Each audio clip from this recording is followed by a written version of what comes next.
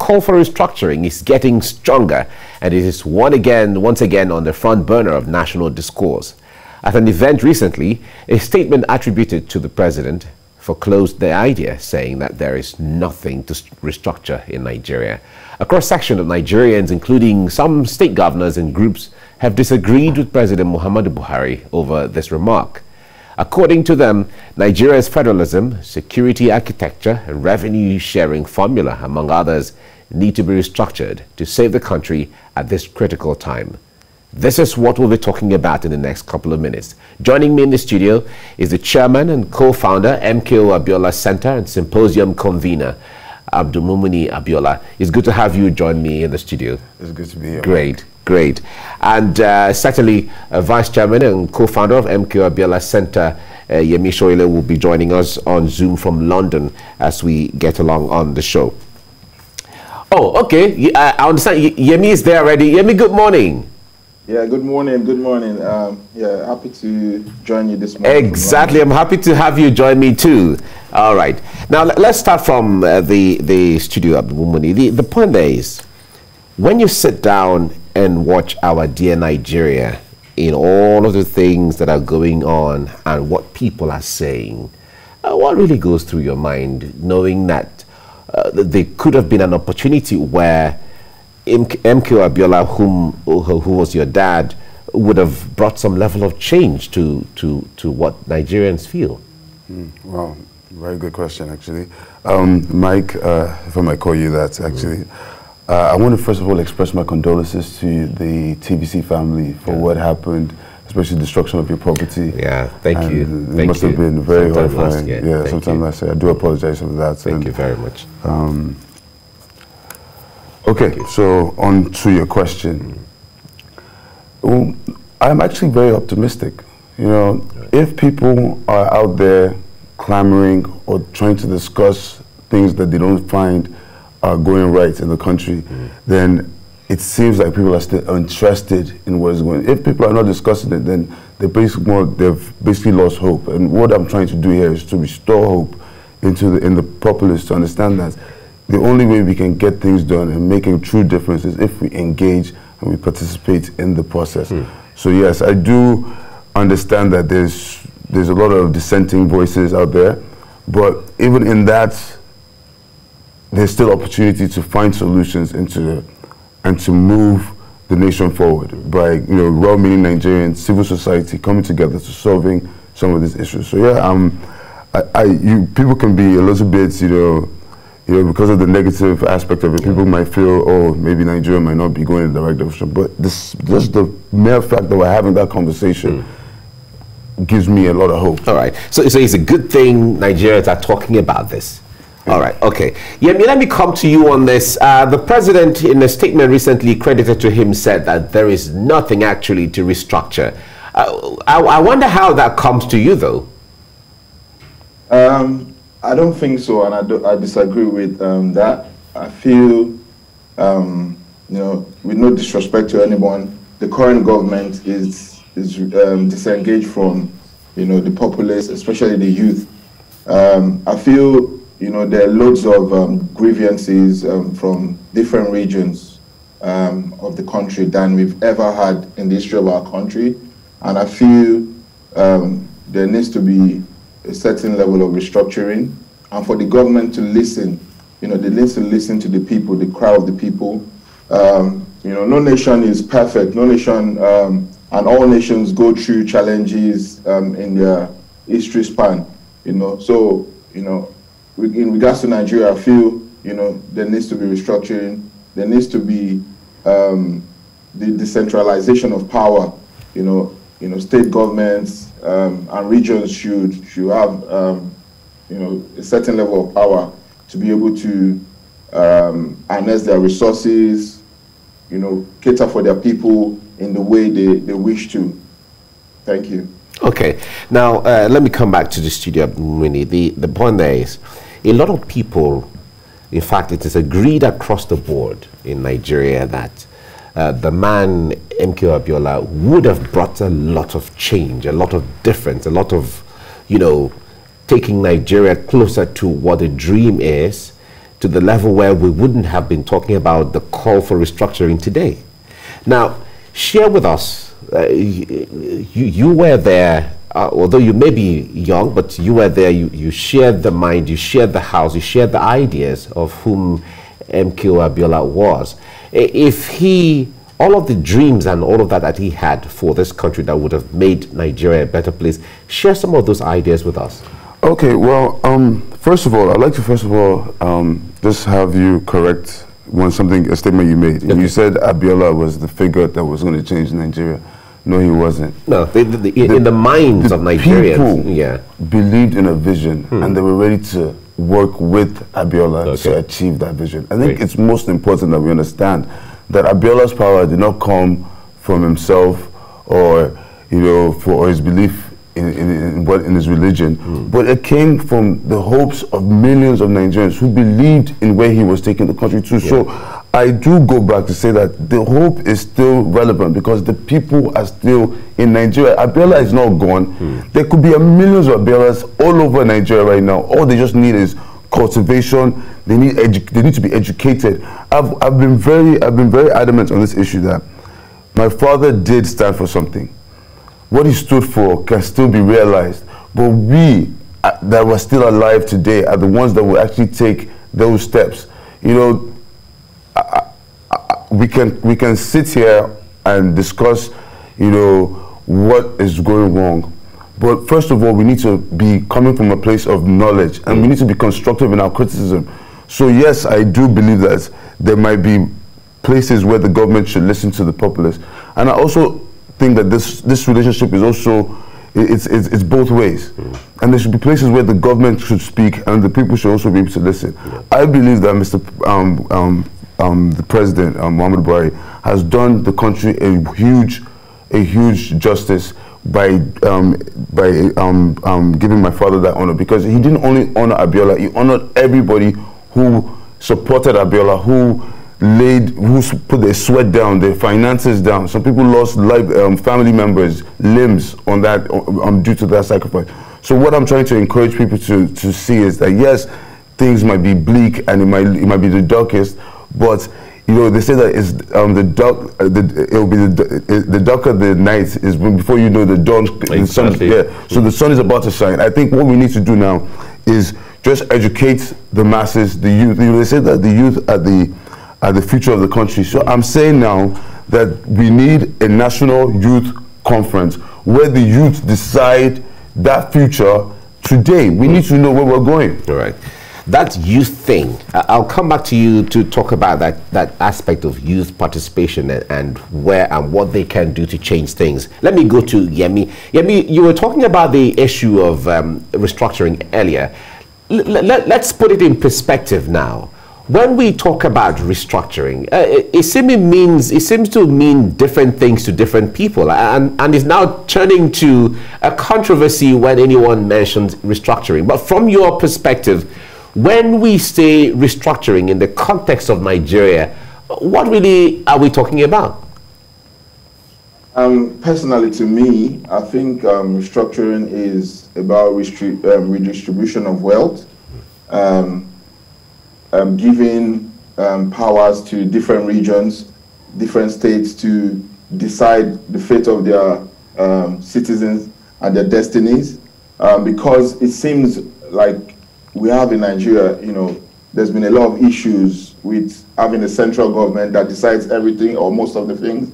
Um, you know, so like you, we all know, we've been hearing this, you know, over and over again, where different regions are saying, oh, this is um, they're not being um, uh, treated fairly and all that. So my um, opinion and my own um, idea of you know we having a proper restructured um, country is whereby you know different regions control their resources, their their their the fate of their people their infrastructures, their, their finances, you know, just like the way we have in the, in the United States of America, where, you know, um, most of these, these different states um, have powers, they have their own um, monotonous power. So um, that's my own idea of restructuring. It doesn't have to take too much powers away from the, the, the federal government. They will still be there to decide um, key issues and key policies, but um, you know, have a sense of belonging. And to be honest, the, the judgment, the, the, the argument, there's an argument for the fact that we already have a system where you know things should work. Because if you look at the system we have, to be honest, you know, we have a, a, central, a federal government, state government, and local government and if things were the way it should be, you know, the system should work. But I think we all have um, the duty of care, you know, to hold our leaders responsible. Because what you find is there are a lot of issues in the local level that the people, the citizenry, they don't deal with. You know, we all know our local government chairman, we know our governors, and these are the places, these are the, the stages where a lot of policies that affect our lives directly you know, are made. You know, a lot of um, a lot of um, issues at local level are very important. Well, what, what, we find out is these issues, we the citizens, we don't tackle these people. We don't we don't um, engage them properly. We only start blaming the federal. We, we, keep going to the federal. So we also have a um, you know a responsibility to um, speak. You know, all our leaders, our local leaders, our state level um, leaders accountable for um, different policies and different issues like I always say, you know, we know there's a, a lot of issues about corruption in Nigeria. And I always say that it's not um, a northern leader that goes to the east to embezzle their funds or, you know, their, their finances. It's not a Yoruba, um, a southern leader that goes to the north. You know, these are your people. These are your leaders from your own state, from your local government, from your, from your ethnic group, you know. So we also need to, even if there's a restructuring, we still have the responsibility to, you know, all these, you know, leaders and our, our people responsible okay. for their action. All right, Yemi, let, let me stay with you on this. The point there is you were talking about the issue of uh, uh, giving some level of autonomy to uh, component states. We, we had that in the First Republic between 1960 and 1966 and things moved on well. So it means we've tested it, we've, we've tested it before and tested that system Definitely. before under the Definitely. parliamentary system of government. But yeah. now things are a little more complex now. We have states where we don't have regions anymore. We have states now where states are autonomous. Uh, how more challenging would that be in, achieving that level of autonomy now? I think, um, you know, where there's a will, like they say, there's a way. Mm. Already, um, these things are already happening like the, the, the case of Amotekun, the Eastern Police Network and all that, you understand?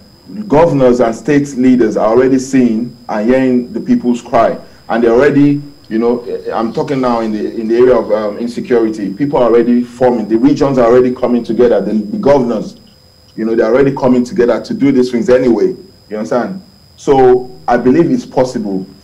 It just needs um, a, a, proper collaboration between the federal government, the state government, and the local government to, to achieve this. And the people, most importantly, because without the people, you know, there's no government, you know. And like I always say also, and I keep saying, the youth, you know, the youth need to be engaged at every level of these discussions. The youth need to be engaged, you know. So it's very possible. Um, and, you know, the government just needs to listen to what the people are saying about okay. restructuring. Yeah. All, all right. Thank you, Yemi talking about youth, let's let's get into that youth thing now. Uh, you have been very passionate about the issue of enlightening the young minds of Nigeria and, uh, and Nigerians generally.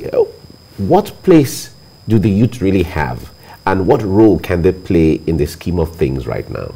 Well, first of all, you know, I really first of all believe that before you can act or do anything, you need to be informed. Hmm.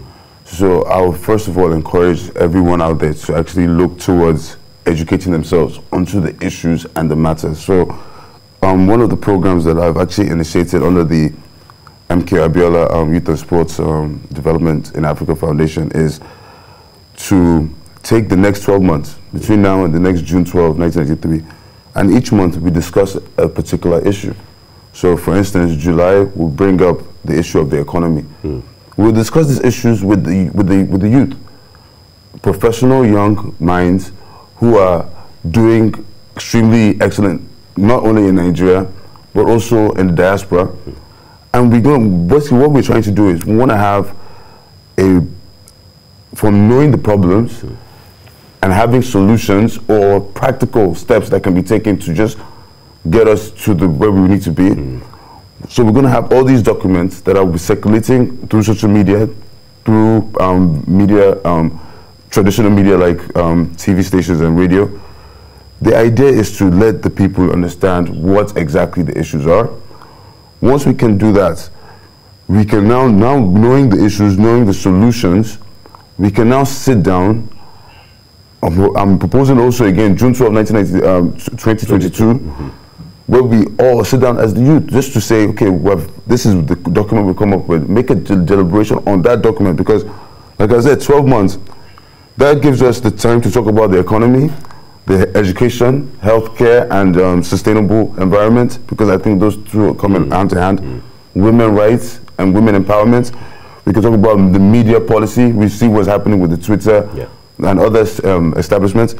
So the internal security defense, you know, we, we would we will discuss with the youth because I understand that yes, we are the leaders of tomorrow, but leaders of tomorrow don't start discussing tomorrow; they start discussing today, mm. and that is my pitch.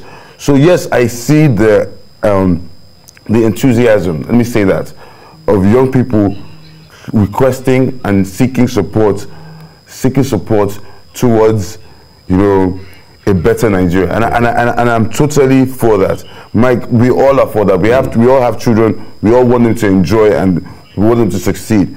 So my idea is we should take our time, be patient, understand the issues, because, you know, not necessarily just the next election, but mm. as we go along, we need to be more engaging and more informed. Yeah. The only way we can survive and can, we can move beyond where we are today is by informing ourselves first and then taking action. All right. So at the end of, because if you're picking each month to, you know, focus on some of these issues and then it culminates at the end June 12, 2022, at the end of June 12, 2022, when you would have discussed so many things month by month, mm.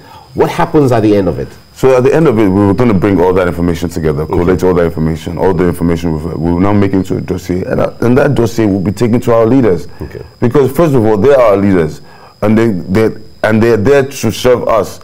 We as the youth have spoken. This is exactly where we want the country. This is what we've thought. And when I'm talking about having this conversation, I put a month for each of these topics. Mm. It's not going to be a one-day conversation. It's going to be a revolving door where people are going to banter about it. We're going to discuss it. We're going to say, okay, you know what?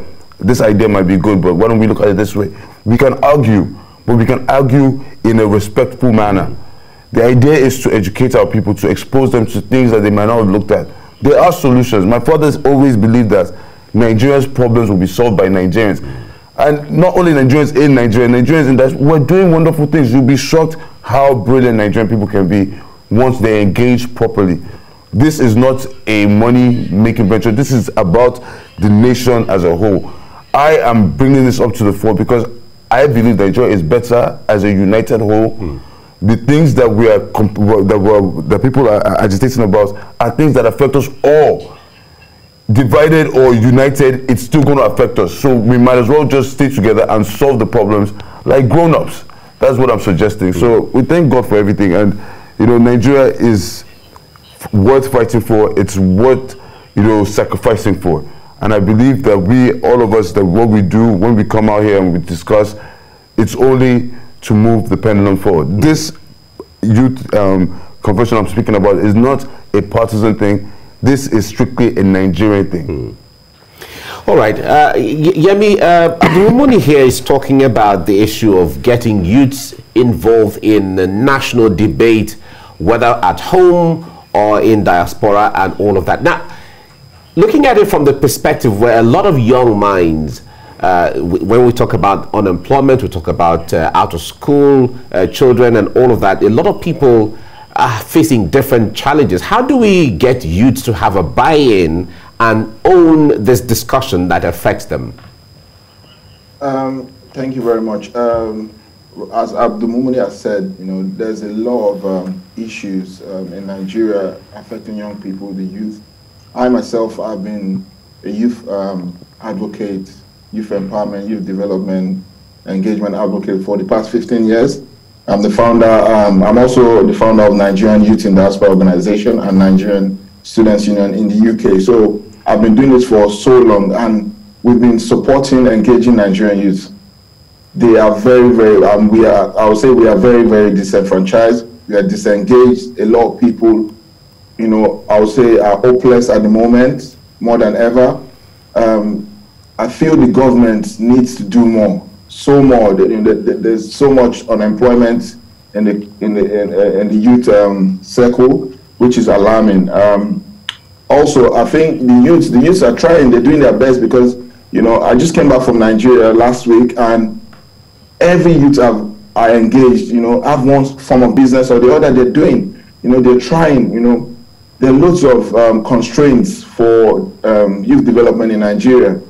You know, lack of power, jobs, you know, a lot of things that are not in place. You know, I, have been opportunity to travel, you know, to many countries across the world, and I've seen some countries, you know, they don't really have much, but you know what they do in terms of youth engagement. You know, in the UK, for instance, I know the UK is more developed than Nigeria, but you know, there are little things, you know, like youth centers, job centers, you know, um, a lot of things that the government put in place you know, I know Nigeria, there's some of them in Nigeria, but they're not enough. Trust me, with the, our, our population, you know, there's a lot of, you know, skills that, that needs to be harnessed in Nigeria. We are very talented. We are very skilled in different endeavors, you know, sports, name it, across the world, you know, young people are doing exceedingly well in different fields, achieving. You know, I have loads of friends that, you know, are at the top of their profession, their careers, you know, so what the government needs to do is,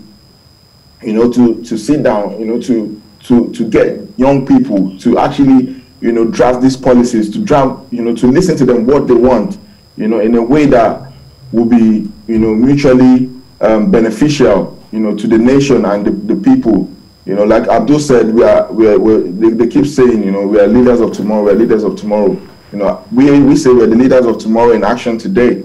You know, these people need to give us the space, and also we have the responsibility as young people to to take the to, to you know to take our space. You know, don't wait. My advice for young people is always not to wait. Don't wait for you know for them to to to you know to give you the space. Take the space. If they don't invite you to the table, you know, go to the and build your own chairs and bring it to the table, or build your table and have these discussions. Let's let's unite. We need more. Another thing we need to do is collaborate more. You know, that's one of the things that is lacking within our youth um, populace, you know, we don't have a united voice. Everyone is trying to do the same thing, replicate the same thing. We need to begin to come together. There's unity in strength, you know. These are the things that I've been able to see and I've seen working in, in, in different parts of the world. So we need to begin to collaborate. We need to, you know, stick together as one, one people, one, one young people to decide our fate, you know, and also engage the government. The government needs to do more.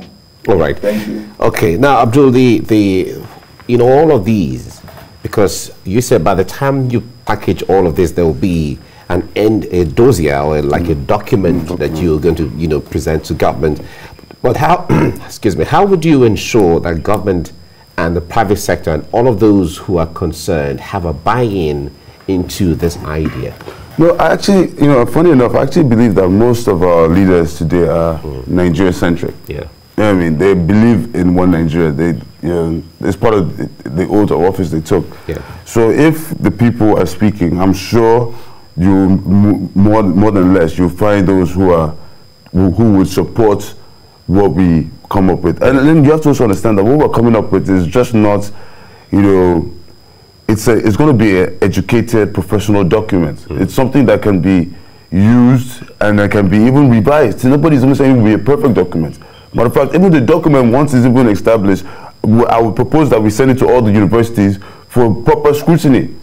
Let, I would like the document to be scrutinized. The idea for me is to engage as many people as possible. I don't believe that we will have an issue with government is a listening. I, for, for one, I believe that the government that we have today is a listening government.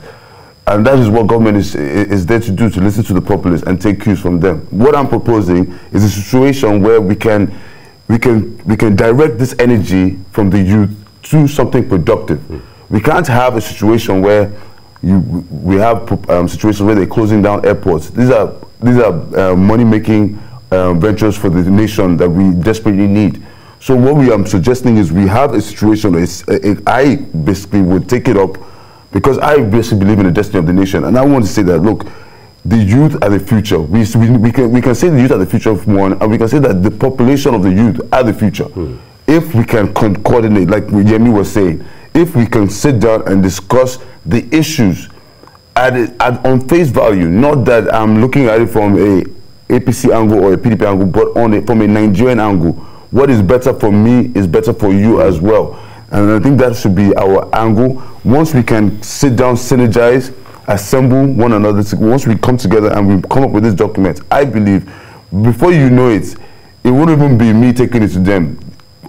I'm sure that as we're even doing these programs, the, the powers that be will be listening in to see how the prog how progress is going. What I'm just encouraging the youth to do is to please join me.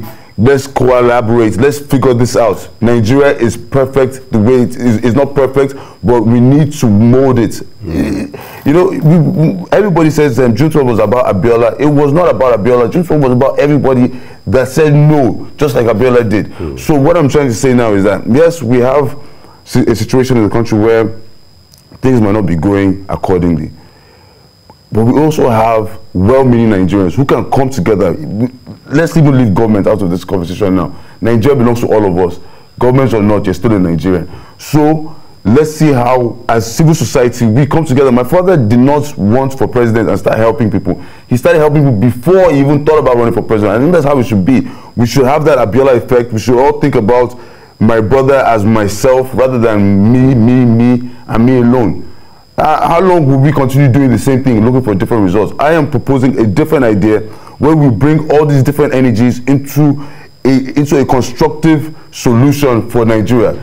It, this has a, a, potential of building team or nationhood or nation um, spirit. And I'm proposing this because some of the statements that I'm hearing from leaders, statesmen, are not kind of statements I'm, I'll be, I would like to hear, mm. and they're not promising. So I'm trying to change the narrative. Okay, all right, changing the narrative. All right, Yemi. Uh, before I let you go, uh, talk to us from the perspective of, like Abdul has talked about the issue of changing the narrative. In changing the narrative, we know how power is needed, authority is needed, and that and that brings us to the issue of political power when we talk about youth being in leadership, uh, is, is that where we'll begin to change things from when we have more youths in position of leadership? Um, definitely, um, having more youths in position of leadership would help, um, but that's not the ultimate solution to the, the, issues. You know, I, I myself, I'm not in any political position, and I've been making, you know, tremendous impact. And I'm saying this with all sense of humility. I know how many young people are impacted on, and I know other young people doing the same. You know, lots of organizations doing, you know, a lot to improve the lives of Nigerians. So, um, you know, we can be in our space, in our local communities, in our grassroots levels, and still make impact without necessarily being in, in government. But the thing about being in government is that, you know, government has a lot of powers you know, government decides a lot of policies that affects our lives. And I would encourage, you know, as many young people now to begin to get involved in politics, you know, at the local level, most importantly, at the grassroots level. You know, there's this saying that all, pol all, all, politics is um, local. Local. You know, mm. yeah. So I believe, you know, and I'm, I'm um, obviously appreciative of the young people that push for um, the not too young to, to run bill that was passed, and obviously we, we also this you know saying changes to age limits of um, of uh, being able to run for certain offices in Nigeria. Mm. But I still think the government can do better because in the UK, for instance, you know we have um, councillors that are 16 years old. You know, I have a friend that was the youngest councillor um, in the UK. Um, she's Nigerian. She was 16 when she became a councillor. We have um, MPs that I think there's an MP in this um, current um, government that is 18 years old. You know, that's a minister. You know, so I think you know governance is not necessarily by age. You know, obviously there has to be age limits. When, when, you, when you start getting to 70 years old, I think it's, it's time to, to retire. So I was reading yesterday, someone was saying, what, what, at what age do our politicians, politicians retire? You know, and this is in different countries, you know I think when you, once you start 1870, if it can be um, done or implemented in the civil service, whereby you know there are age limits to people retiring, then it should also be um, you know in, in, implemented in, in government level, whereby you know this these are older citizens. They should pass on the baton to the younger ones right. who have fresh ideas and fresh minds. Okay. All right, we have to leave it here now. Uh, Yemi Soile, the co-founder of MKO Abiola Center, thank you very much for talking to us.